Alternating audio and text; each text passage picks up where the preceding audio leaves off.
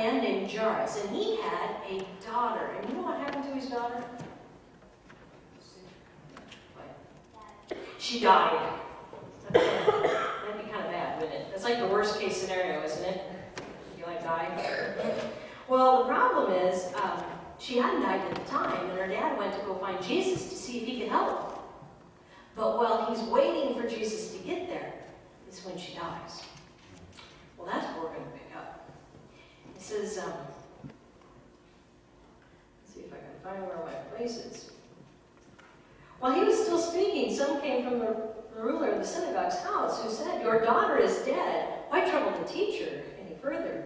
As soon as Jesus heard the word that was spoken, he said to, the, to Jairus, He said, Do not be afraid, only believe. And he permitted no one to follow him except Peter, James, and John, the brother of James. Then he came to the house of the ruler of the synagogue and saw a turmoil and those who wept and wailed loudly.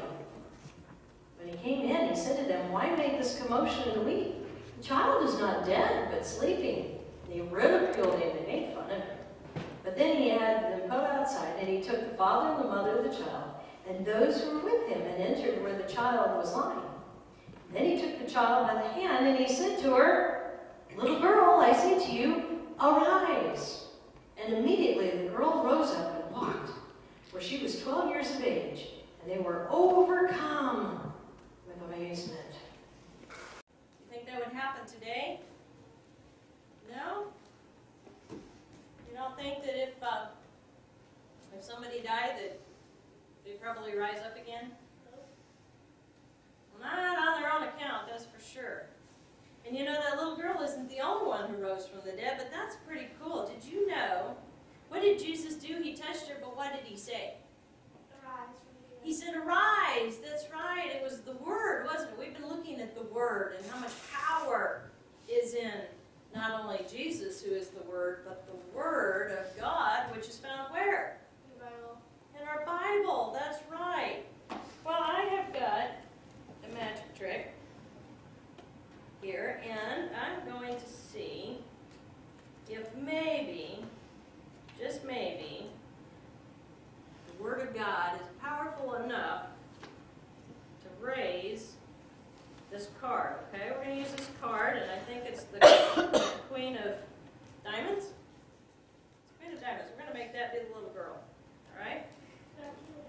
Let's see if we can make this card rise.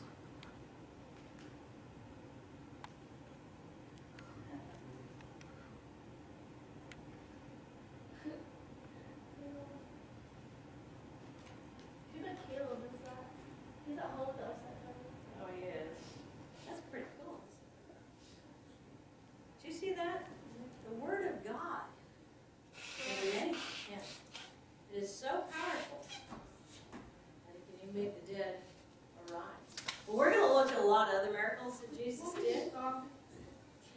We're going to look at a lot of other miracles, and in fact, we're going to be looking at this one and a couple more today in the message. So keep your heads with me. Dear Heavenly Father, we thank you so much that you remind us that you are all powerful. And we just need to have faith in you. That you can move mountains and you can raise people from the dead and you can heal the brokenhearted, the lame, the blind, any ailment that we have because your word